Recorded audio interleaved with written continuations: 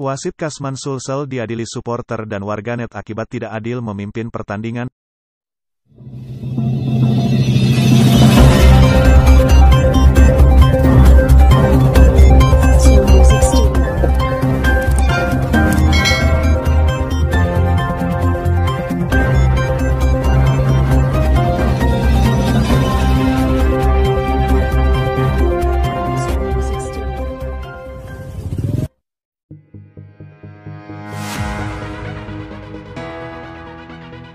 Update Jepara.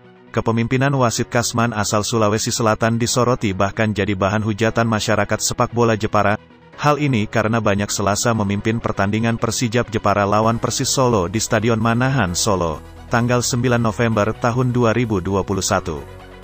Salah satu penggemar Persijap Widi Nugraha menilai buruk kepemimpinan wasit Kasman, Persis Solo memang materi pemain mentereng, tapi saya kecewa sekali dengan kepemimpinan wasit Kasman dalam memimpin, banyak keputusan yang merugikan Persijap. Tapi ya mau bagaimana lagi, mau protes juga sudah menikmati saja kekalahan perdana ini, ujar Widi tanpa bisa mengecewakannya. Senada dengan Widi, Aping salah satu dari kelompok supporter juga mengungkapkan ketidakbecusan wasit Kasman, Menurut saya kepemimpinan itu adalah Kasman tadi malam mengecewakan, banyak keputusan-keputusan kontroversial, yang akan merugikan tim Persijap Jepara. Sebelum tendangan Alberto Goncalves yang menghasilkan gol keempat bagi Persis Solo, terlihat jelas pelanggaran yang dilakukan pemain Persis Solo terhadap pemain Persijap, dan tidak membiarkan hal tersebut, padahal jelas itu adalah pelanggaran. Dan menurut saya empat gol dari Persis itu yang menjadi faktor downnya mental para permainan Persijap karena kecewa, ujar Aping.